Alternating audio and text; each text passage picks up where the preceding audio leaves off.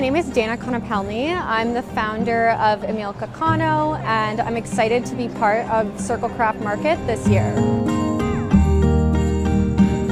I'm so excited to be part of this iconic Vancouver event. I'm from Toronto, but I understand that this is a pivotal event in Vancouver and there's so many talented artists that I get to share this event with.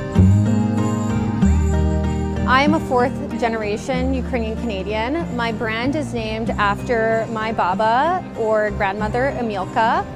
And my culture has influenced, I would say, everything about my brand. I upcycle mostly Ukrainian cross stitch, and it's just a way for me to honor the work of mostly women who came before me and this beautiful work that they've done that might have gotten lost in a drawer or in a trunk and giving it the second life that it deserves. So before I design anything, I think it really starts with sourcing my textiles. So I work with individuals who might be downsizing or Ukrainian museums that can't take everything into their collection.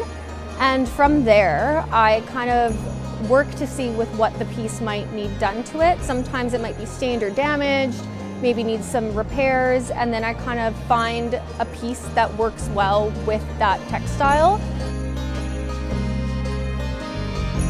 I'm so excited to be visiting Vancouver. It's one of my favorite places to visit.